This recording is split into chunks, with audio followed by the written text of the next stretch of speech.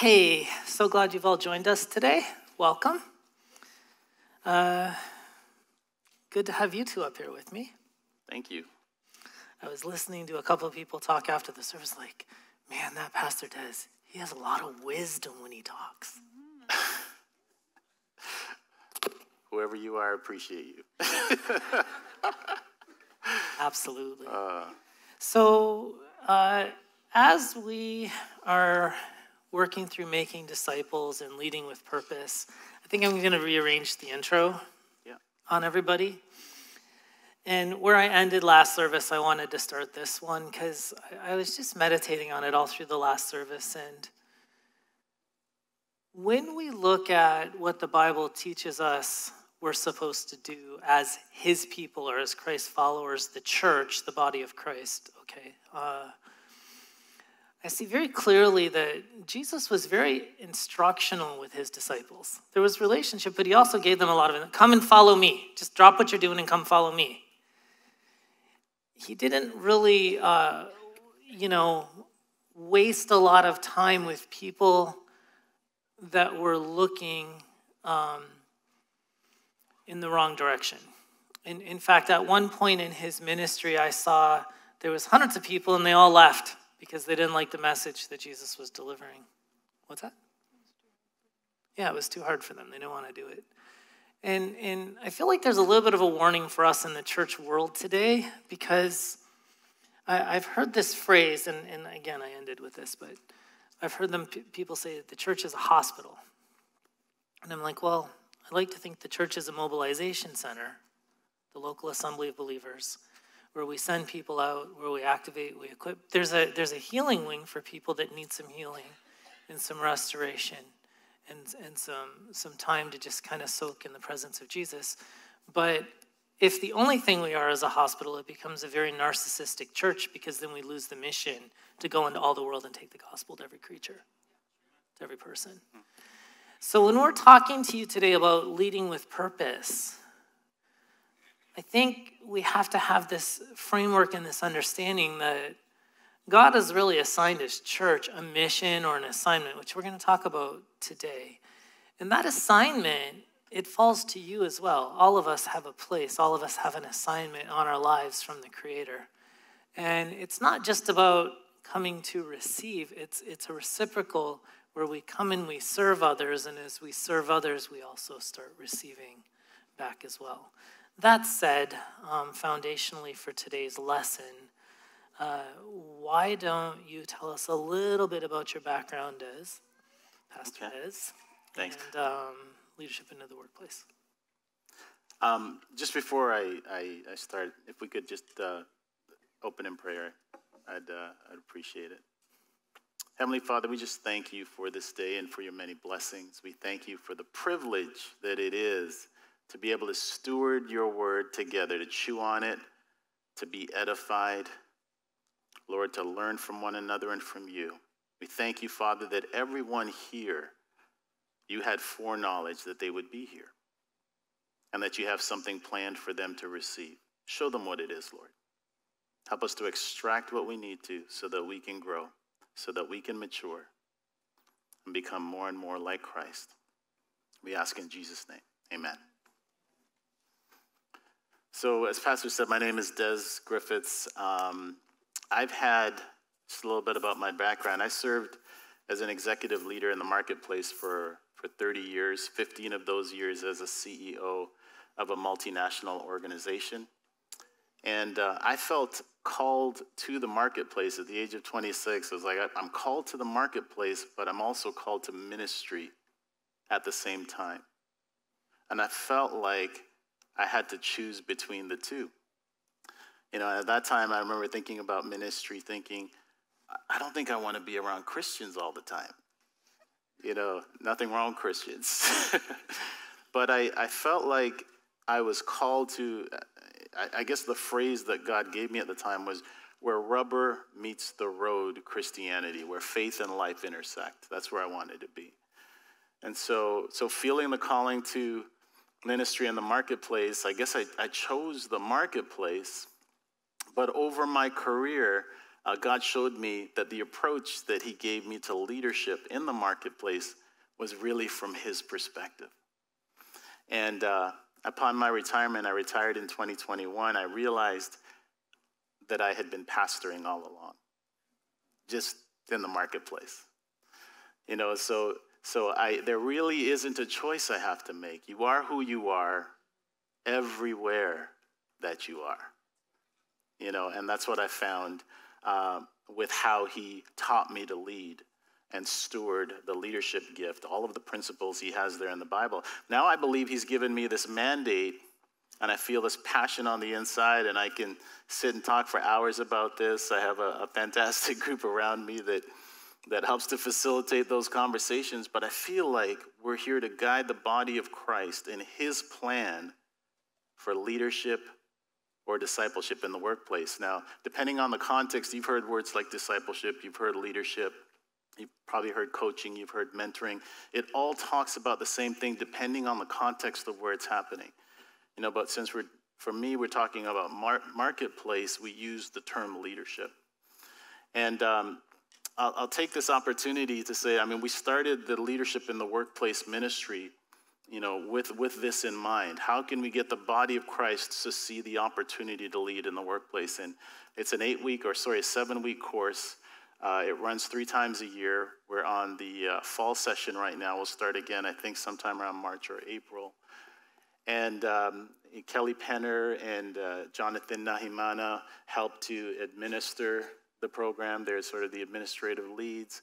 But I have a wonderful team um, around me of business leaders and executives and you know frontline people in the workplace that help to facilitate that content and i'm so blessed and privileged to have them you how many have taken leadership in the workplace okay and many more i'm sure will as we move forward because this graphic i want to walk you through is really what the church is about if we can if we can throw the graphic up for a moment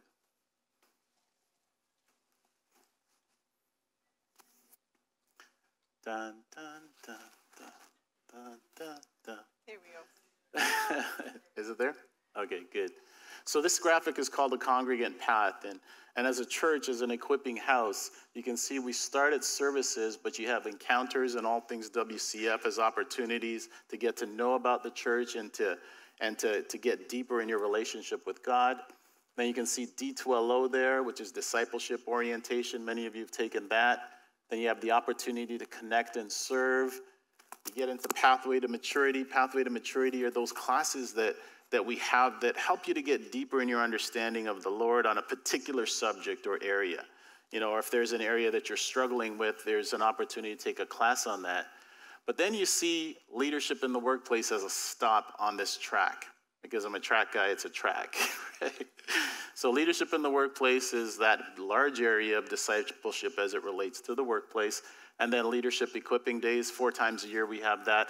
And as you can see, the track continues, the opportunity to continue to get developed and equipped and so on. So, leadership in the workplace is, is a stop uh, in the discipleship process here at WCF. Amen. So today we're talking about, again, um, it's a discipleship series. And today's message is really about leading. And my name is Kim. Why? you don't know who I am? how many? How many know who she is? See? Seen hardly anybody. yes, like, let's hear about Kim this service. There it is. My name is Kim, and I'm married to this guy, and I serve this guy. Um, She's really humble. I'm on staff here, um, and I support Pastor RJ and Mary and um, in the creative areas, the ministry. So, um, and then of course I support this guy um, in our home, and we've been married 33 years, and we have three kids, and uh, three adults now. Three adult girls, three um, uh, son-in-laws, and one uh, grandbaby. Uh, Shout out to Ezekiel if you're watching. Okay, so today we're talking about, before I was interrupted, we are talking about leading with purpose. And uh, it's part of the discipleship series. And when you talk about leadership and you talk about purpose, and we're going to define those two what is leadership and what is purpose. So, first of all, let's take a look at purpose. And we think about You have a purpose, I have a purpose, Pastor RJ has a purpose, Desmond has a purpose, we all have a purpose. Um, but is our purpose the same or is our purpose different? So, do you want to define purpose? I can. Sure. Sure. Revelation 21, 3 and 4. I heard a loud shout from the throne saying, Look, God's home is now among his people. He will live with them, and they will be his people. God himself will be with them. He will wipe every tear from their eyes, and there will be no more death or sorrow or crying or pain. All these things are gone forever. I kind of see in that verse where God wants to dwell among his people and live with them, and we can be his people. And, and that speaks to our purpose of the church right from the scriptures, which is redeeming our communities, or partnering with God to redeem people back to himself. And the whole purpose that God had when he came to planet Earth was a plan of redemption to restore humans into relationship with the Father.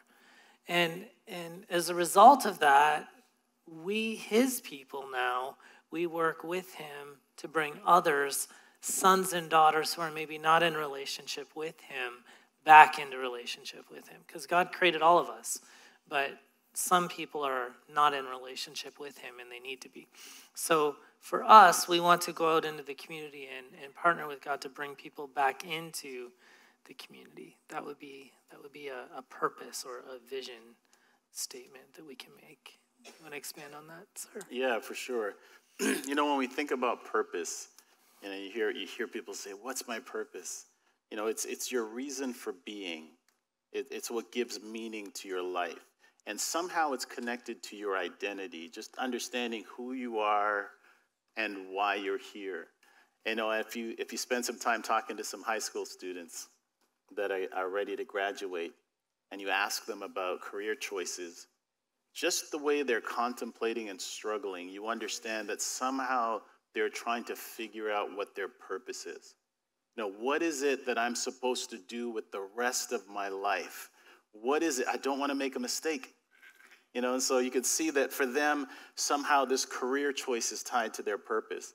And people, when they may, maybe lose a job after serving for a long time 12, 15 years you know, that job has become a part of who they are. And you can see when, when that job is no longer there, it, it's like they're lost. There's part of their identity that's missing. Somehow they're, they're without purpose or feel a sense of loss related to purpose. Or maybe they've retired, you know, after serving somewhere for a long time. And that really was a source of their identity, you know, how they looked at themselves, how they sort of defined their purpose and their role in life. Or if you're a stay at home mom like I was and you raise your children for X amount of years and then they grow up and they leave and you're like, what the heck's going on? Now what do I do with my life? If you're if if you're wrapped up so much in your children and you think that raising them is your in, in, is your purpose, and I went through this, you feel lost when they're gone. Now that they've gone to start their own lives.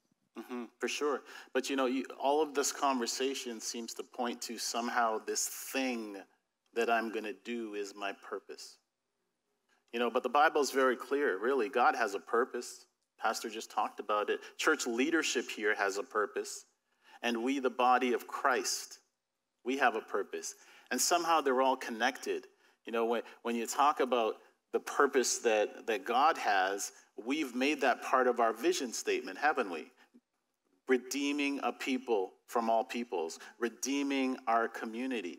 That's what God is about. We sang about it this morning. He's about redemption, redemption, redemption, trying to get people back into relationship with Him. So that's His purpose. And we spent a lot of time here at church talking about, you know, what it is that the staff does, the leadership of the house, right? You know, Ephesians 4 11 to 13, we spent some time reading that in past conversations. Now, these are the gifts Christ gave the church the apostles, the prophets, the evangelists, and the pastors and teachers.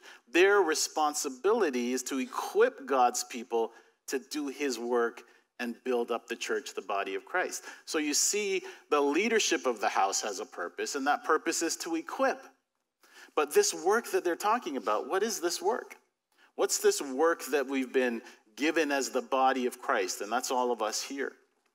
You know, the Second Corinthians 5 18 to 20 talks about one aspect of it. It looks like this work has something to do with reconciling, but let's read. You know, and all of this is a gift from God who brought us back to himself through Christ. And God has given us this task of reconciling people to him.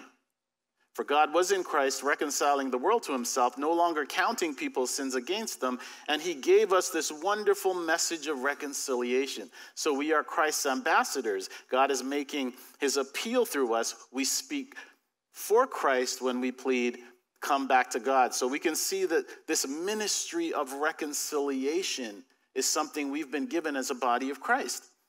And, and from that, we extract one aspect of the identity related to this ministry, and that is the identity of ambassador. But, Pastor, there's, there's another aspect to the identity when it comes to this ministry of reconciliation that, that the Bible talks about.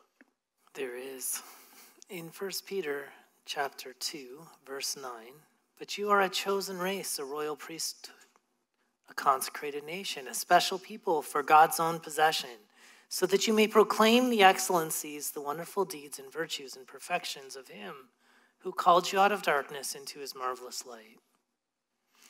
So we're get, let's go back to our purpose again is to equip, to be equipped, right? Because um, we're that's the process of being a disciple, right? You're being equipped and you're equipping. So our purpose is to be equipped, and our leadership does that really well. Then our other purpose is to reconcile right?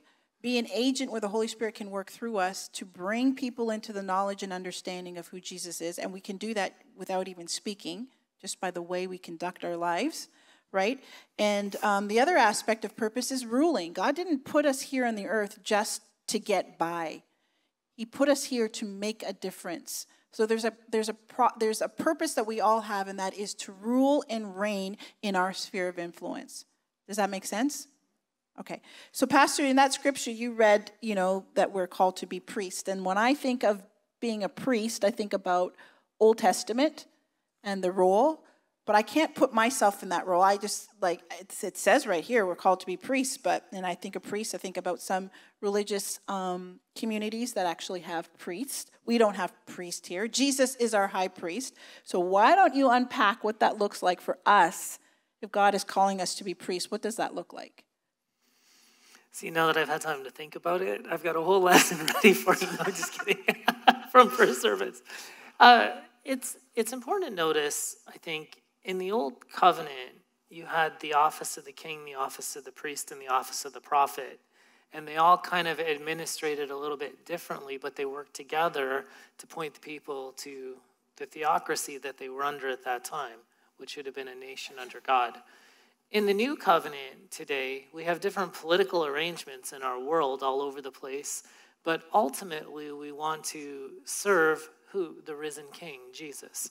So if Jesus is the king now, and he also is our high priest, and he also is a prophet, because you see, the spirit of prophecy is the testimony of Jesus in the book of Revelations.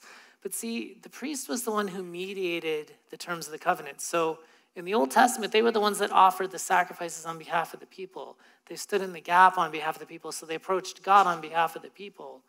And there's a, there's a priesthood of all believers today where we have a responsibility to go to war for our brothers and sisters. We have a responsibility to go stand in the gap, to reach out, to mediate, to intercede, to pray for, to bless other people. And I'm going to throw it over to you guys to pick up from that. You know, when we, we look at those two identities, the one of ambassador, I, I mean, I get, you know, you, we're, the ambassador represents the values, represents the, uh, the nature, the character, the interests of the kingdom that they're coming from in the kingdom or to the kingdom they're living in. So this ambassador is going to represent the nature and character of Christ. You know, the fruit of the Spirit manifested in your life, making the invisible kingdom visible. I can see that ambassador nature. But when it comes to priest, you know, I have to confess, you know, in my relationship, I grasp the ambassador piece, but the priest part, the pastor just talked about, I didn't hold on to. I didn't see the responsibility that I had to mediate, to intercede, to stand in the gap of those that were lost, those that maybe I was working alongside. You know, I can think of, you know, I guess people that are saved, my friends that are, are walking with me that I would intercede for, the needs that they have. But my prayers, I got to tell you, were pretty selfish. Even as a believer, we know the world is selfish, but how many know selfishness can make its way into the church? Never. You know, and, and I can think of my walk being, you know, God protect me, God grant me favor, God meet my needs.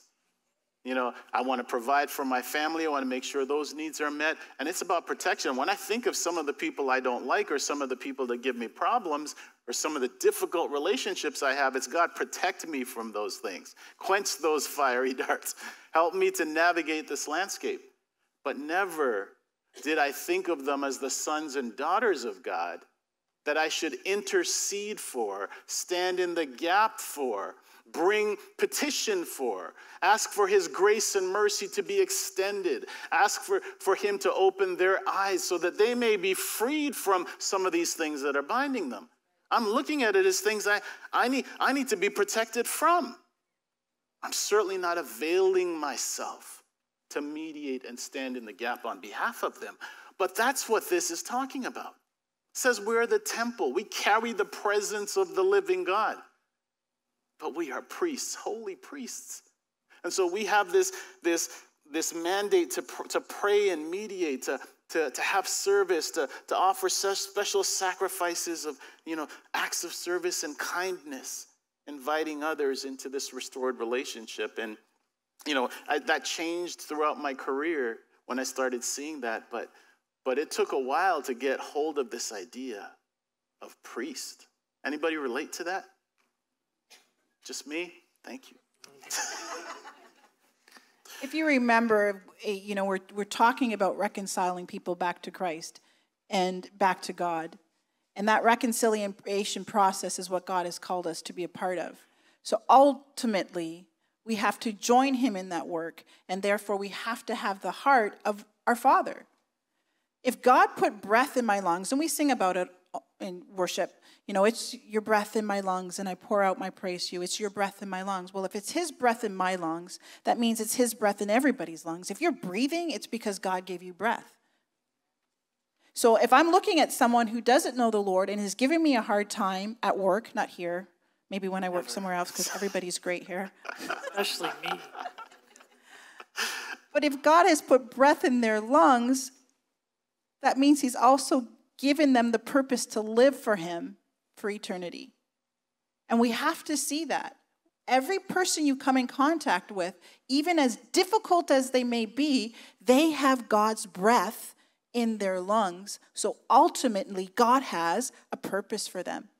And I have to be about joining Him in mission and seeing people as my purpose as opposed to just the job that I'm doing. And we'll get into that a, a little bit later. I just want to piggyback on this. That's why it's so important that we become mature believers. It's so important that we mature in Christ. And the emphasis that the Bible puts on that, because if you're not mature, you're not thinking about other people. You're thinking about yourself. You're so far from seeking God for what He has for other people. You're so concerned about having your own needs met. You know, but the, the piece I want you to get from this conversation on purpose is this ministry of reconciliation that we've been given is our purpose, as Kim is saying, and not the thing we do. You take your purpose with you into all of the spheres of influence that you go into. Your purpose is this posture of your heart, who you are becoming. And joining Him in this ministry of reconciliation is what you're all about. Now, your assignments may change. You may go to different places, different venues. Kim had talked about being a coach, being you know, a mother, you know, being an employee. The venues may change, but your purpose is going to remain the same. You know, your influence may be different than mine, but we have the very same purpose. Amen. And here's the here's the heart indicator that we need to look within to see. And, and right now, it's a, it's a defining moment for your own life because there's there's two pathways that you can take. There's the narcissistic, egocentric, self-centered pathway, or there's the pathway of the servant, the pathway of love, the pathway of peace that Christ was the example for us in. And it comes down to is there a core conviction in your heart to accomplish the assignment, the purpose of God on your life? And are you partnering with Him for that? Or are you only in this for what you can get out of it? Okay. And that's the that's the conviction piece that I find the North American church and some of the other Western philosophy churches really struggle with that conviction piece about love for the lost, love for souls, passion for those that don't know Christ. That said, Kim, if you were to define leadership in a biblical context in light of this leading with purpose, what would you, how would you describe that to us? I would say, in a biblical context, your leadership is one that brings honor to God. Um, the way you conduct yourself is bringing honor to God. You're leading in a way that when people encounter you, they encounter Christ first and foremost. And so your leadership should be leading them to something, not away from something. Your leadership is where you have influence. And influence meaning where you have impact, where you have the most impact. So if you're going to school and you're there full time, that's where you're leading. That is your sphere of influence. If you're a mom and you have children at home, that is your sphere of influence along with the Father. If you're working outside of the church or whatever, that's your sphere of influence. That's where you have impact. That is where God is calling you to lead. That is where God is calling you to reconcile people back to Him. So, in light of Matthew 5, talk about influence for me. Gonna read Matthew 5 or I can read it for you, yeah. sure. Matthew 5:13, you are the salt of the earth. But what good is salt if it has lost its flavor? Can you make it salty again? It'll be thrown out and trampled underfoot as worthless. You are the light of the world, like a city on a hilltop that cannot be hidden. No one lights a lamp and then puts it under a basket. Instead, a lamp is placed on a stand where it gives light to everyone in the house. In the same way, let your good deeds shine out for all to see, so that everyone will praise your heavenly Father. Well, that's good. I love the context of that scripture because I see influence all over that scripture. You know, and, and we've defined leadership up here, but I'll be more explicit. Leadership is effectively stewarding your influence. We all have influence. If you say, how many, how many believe you're a leader? How many of you believe you're not? A few brave souls. if you don't believe you're a leader, it's because you haven't really started to take a look at the impact that you have on the people around you. You are influencing all the time, whether you choose to recognize it or not. But are you careless about the influence that you have, or are you intentional about stewarding the influence that you have? You know, we bought into the lie in this generation and this time in the world that you know, if you're not charismatic enough, then, and if you're not commanding um, with your presence enough, or if you're not extroverted enough, well, then you're not a leader.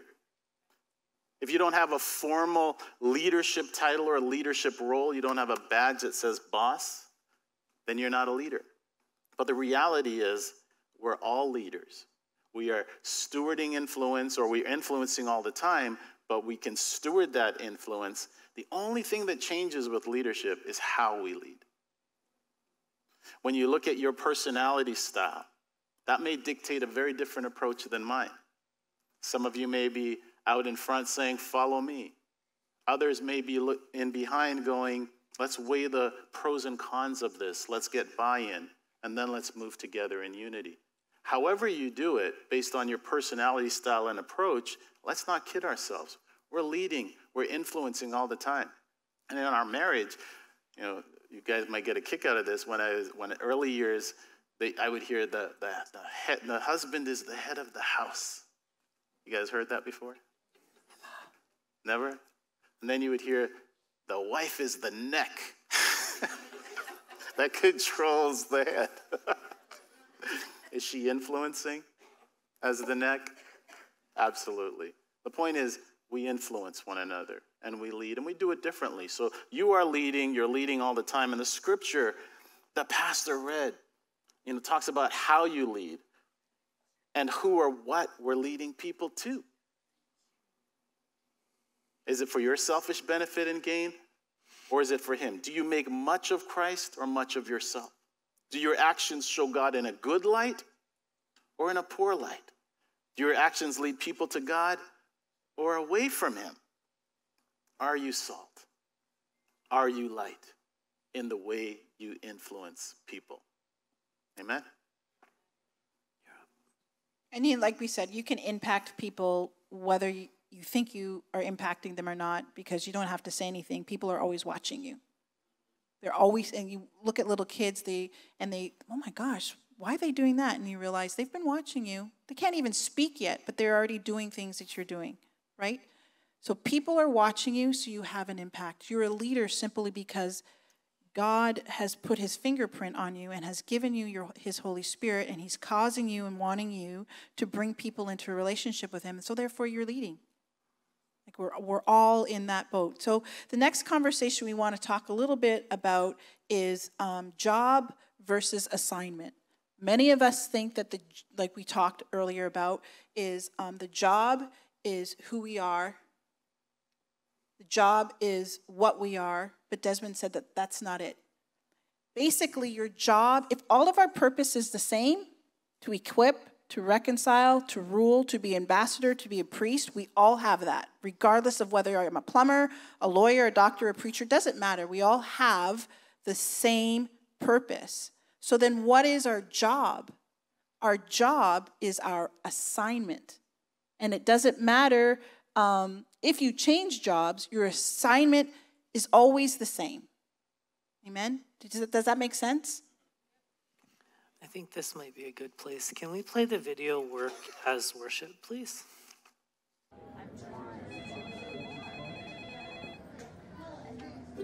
Work. Most of us spend over half our lives at work. Whatever it is you fill the 9 to 5 with planting crops, building cars, taking care of patients, teaching students, or running a business work is where most of life happens.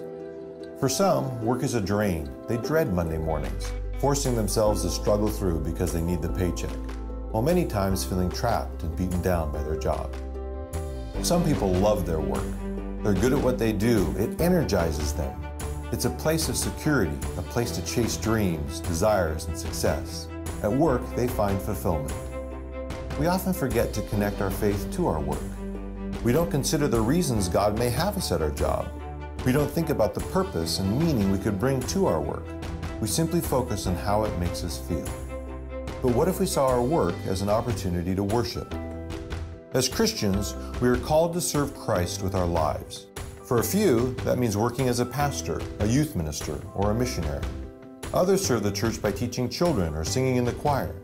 But when Sunday is over, most of us return to our jobs outside the church. For us, our mission is in the marketplace.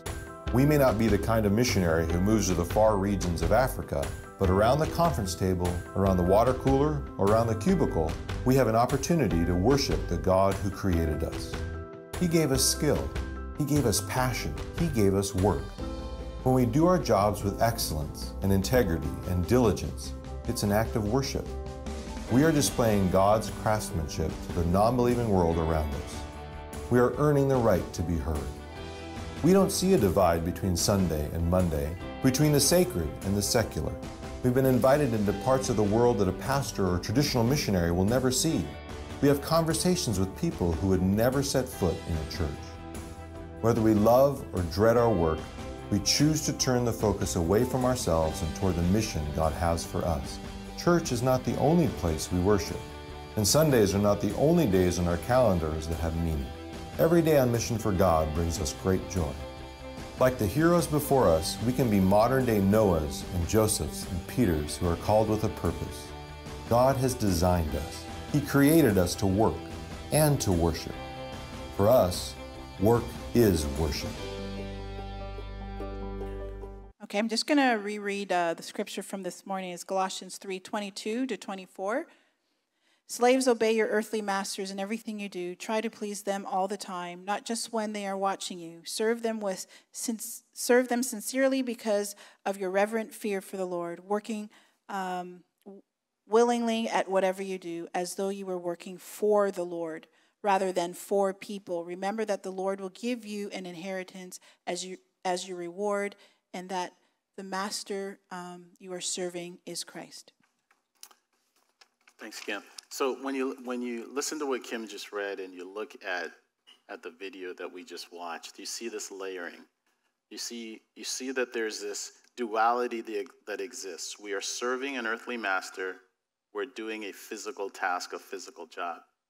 But we have a purpose that's layered on top of it that is for our real employer. So we're serving our real employer while fulfilling the duties that are in front of us as we serve our earthly master. Can you see that? So, as Kim is talking about it, the idea is that your assignment is the deeper purpose God has for you behind what you're doing. It's not just about making widgets, it's about the people that are there as you do it. God is more concerned about people than he is about things. And the wonderful thing about it is if you make people your priority, God makes the things happen. I've seen it play out. I've seen it play out in my life. I've seen it play out in the workplace. It's part of that seeking first the kingdom of God and his righteousness.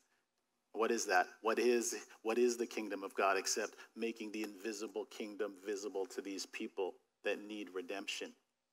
When you do that, these, all these other things, he says, will be added to you. Remember that scripture? So, so the, the important thing here, as you kind of look at it, and this is where I want to segue, is we need to discern what the will of God is for the assignment that He's given us. You know, it's not just about making widgets, so what is it? Why is Dale in my life? Why is Susie in my life? What's going on in Susie's life? Show me what I need to see and know. What is it you're trying to get across to her? How can I be a priest? How can I be an ambassador in Susie's life or in Dale's life? You know, God doesn't look at work the way we look at work. We've made work this thing, this I got to get the money, I got to get my paycheck so I can pay my tithes, I've got to take care of the needs of my family. But He has much more, a much bigger picture and vision for work than that. It's really about the people that are there. And if you look at, you know, how many people have looked at work as part of the curse? It's hard, man. You just survive in the week. You're just trying to get by. I can't believe it. I made it through another week. Well, well, work was part of God's original design. Did you know that? Did you know that God worked? God worked, and at the end of each day, He said, That's pretty good. So God did good work. And when He made us, He said, That's very good. so He did even better work. And He gave us an assignment, a job to do. So God is about work. Now, the curse made the experience of work more difficult. But in its original design, it's from Him. And so that scripture in Colossians is talking to slaves. And it's telling slaves the attitude that they should have when they work. Can you think of a more difficult, hard situation than slavery? So he's talking to the worst of the circumstances. And he's saying, This is the attitude that you should have as you work. So he's saying there's something much bigger that's going on here that he is doing through how you work, which is important for us to know. And so this, this segues to this idea about excellence as it relates to work. I was, I was actually just going to go into that. um, when we look at how the kingdom of God works versus the kingdom of this world, there's some stark, distinct differences in the way that they operate. And in Romans 12, 2, don't copy the behavior and customs of this world, but let God transform you into a new person by changing the way you think. And then it talks about you'll learn God's will. And in my life, I found long before I came into ministry that being the best I could be at whatever my task assigned to me was, um, gave me more of a platform to share faith with others. When I worked as a gas station attendant, it was the perfect job to just love people and serve people. And whether it was um, the Hells Angel guy that came in with his bike and he actually trusted me not to spill gas on his bike because I knew how to do it properly because you know you don't want to spill gas on their paint. Okay. Or whether it was the doctor who uh, was coming in on his way to the night shift or the lawyer or the, the line worker um, or just the person that was really struggling in life. You know, it was a great opportunity to love people. But my point is, loving people, I got that platform because I was excellent at doing what I did. We had the cleanest gas station around, clean bathrooms, clean islands, clean the pumps, everything was polished, the store was mopped, everything was organized. You know, same at the bank. When I worked at the bank, I memorized a, a, about a 140 page manual. And my manager used to call me all the time and say, Hey, I can't be bothered to look this up, but I know you know it. There's something said to being excellent or doing going a little bit further than everyone else. And then it gives you a platform to speak into things and to speak into people's lives. And it gives you the ability that when you love people, they also know that you're authentic because they're not carrying you, you're carrying them. Oh, that's really good. You know, and, and the, when, I, when I think about the marketplace, the marketplace has a currency that gets you respect. You know, and that's what good work does. You need to hone your skills. You need to be good at what you do because excellence is the currency that gives you a platform to speak into people's lives. Christians in the workplace often miss this. And they'll go around talking about their faith, completely discrediting or not giving their attention to the role that they have to fulfill while they're there. You need to be excellent at what you do. When you are excellent at what you do, people want to hang around with you. They want to understand how you got that good. They want to hear from you. And we know this is true, and Kim's talked about it at home, where you have certain celebrities. You know, you'll have somebody that might be a really, really good basketball player, really good at what he does, and all of a sudden he has a platform to speak on all these other issues that he may have zero credibility on. But people listen. Why? Because excellence is a currency that gives you a platform to speak into people's lives. So be excellent at what you do in the workplace. But the other thing is, working with excellence and diligence is a way to honor God. Your performance at work should reflect your desire to glorify God in everything that you do. And when you do your best work, that's when you show up reliably, you give your best effort. You know, regardless of your, your leadership position, it, it shows respect for the opportunities that God has given you. And finally, finally, the point I wanted to make is generosity. You know, be generous with your time, be generous with your talent, and be generous with your resources in the workplace. The world will tell you to keep those things to yourself because it means job security. But the person's name on your paycheck is not your employer. Who's your employer? Be generous. You have no idea what that does to people when you share your talent, share your time, and share your resources, even when you think they don't deserve it. Especially when they don't deserve it. We read that scripture in Colossians. You have no idea what it does to somebody when you are good to them and you hold yourself to that higher standard that you're called to, even when they don't see that they deserve it. God is doing something bigger than making widgets. He's in the business of transforming lives. And if we will mature and get ourselves out of the way, we can see what He's doing in the lives of people. So it's very important that we're generous with these things because there was a time when you didn't deserve it. And yet Christ went to the cross. And yet he went to the cross for you. You guys are talking about um, people are our purpose. We talk about people are important, people are valuable on your job. But what about the fact that the jobs need to get done? And so I've heard the phrase, you know, it's not personal. I mean, it's just business, right? Um, things need to get done. So is it personal or is it just business? It's all personal. it's, not, it's not just business. People say that uh, as an excuse to, to exhibit bad behavior. Of course, it's personal. How we treat people is personal. The relationships we have with people is personal. You know, if you if you let somebody go and then you're and then you're afraid to show up in the grocery store at some community event because you may see them, that tells you a little something about how you treated them. We need to be adding value to people. People are valuable even if even if the relationship, that assignment doesn't continue. Even more so, we don't know how long people are going to be in our lives. Some assignments are short, some assignments are long. We need to understand what God's purpose is for the time that they're with us and make sure we're investing in them. Not everybody is meant to, to go for the full journey. And I've had to let people go in the past. Maybe it's not a good fit. You know, they don't have the skill set for it. But it doesn't mean they have no value.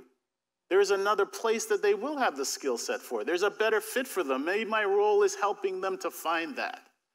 But the way I treat them with respect, valuing them, and adding value to them every day is what we're called to do. And that transforms people into seeing that God sees them, God notices them, and God is about reconciling them. So we have to understand the employer we serve, the primary employer. That purpose is what should drive our behavior. So it's all personal because it's all personal to Him. People matter to Him, not things. Amen? And bonus information on that point to build on it. I find that we're supposed to have the same attitude that Christ had. And Paul in the Philippian church in 2:12 he says, "Dear friends, you always followed my instructions when I was with you, and now that I'm away, it's even more important. Work hard." Everyone see that? He tells us to work hard to show the results of our salvation, obeying God with deep reverence and fear, for God is working in you and giving you the desire and power to do what pleases him. This next part, verse 14 do everything without. it got silent. You guys don't want to say that word. Let's let's all read that. Do everything without so that no one can criticize you. Live clean, innocent lives as children of God, shining like bright lights in a world full of crooked and perverse people. Let's stand up as we get ready to go to the Lord's Supper. And transitionally on that, I remember one time a new guy showed up and sat down next to me, and he tried to bait me into complaining about the managers. And I just kind of looked at him, and I was like, Yeah, no, we don't do that around here. And I kind of redirected him and said, You know, be careful to speak out of turn. It turns out he was the vice president of the whole operation. I didn't know him at that time. But we don't want to get into complaining and arguing. That doesn't represent Christ well. That's not a good attitude to have.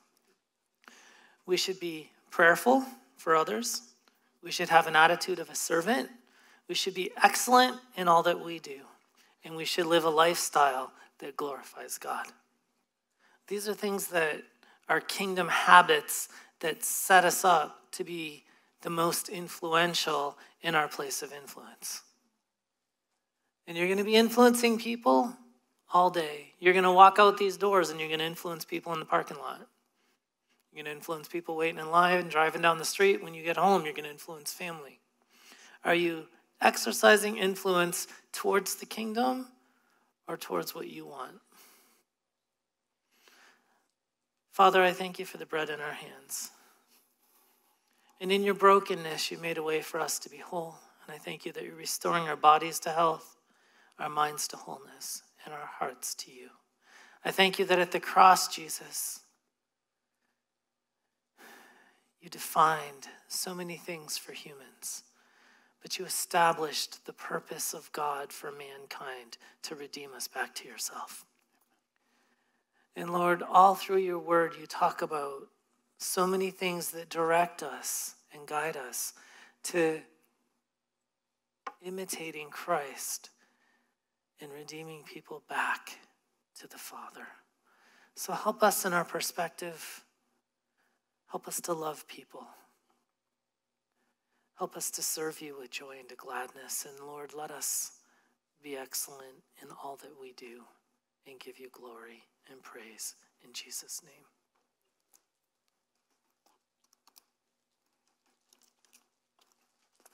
Heavenly Father, as we partake of the blood, we remember your sacrifice and all that it means for us and all that it's done for us. We thank you for the freedom that we receive, the healing that we receive, the restoration that we receive, the life that we receive from your blood. In light of today's topic, Lord, we thank you for the example, Father, of Jesus, who showed us how to lead with purpose and to serve with humility. Help us to align our lives with your calling, to lead in ways that bring glory to you, and to serve others with the heart of a servant. Give us the strength to overcome challenges and the wisdom to know how to love and lead well as we partake in Jesus' name.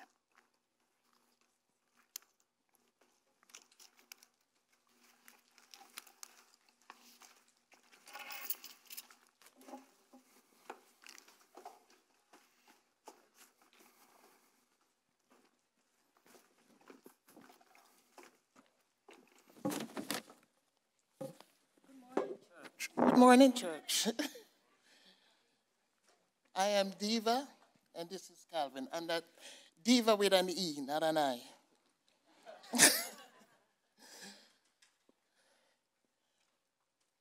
what a lovely discussion and discipleship.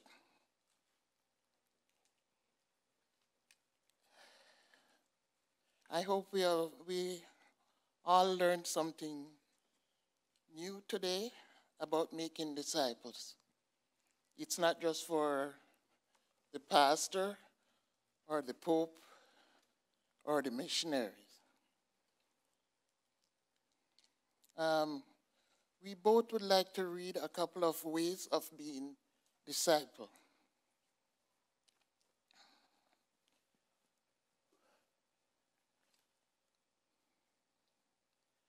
Discipleship is not just about teaching, but caring, walking alongside others as you both follow Jesus.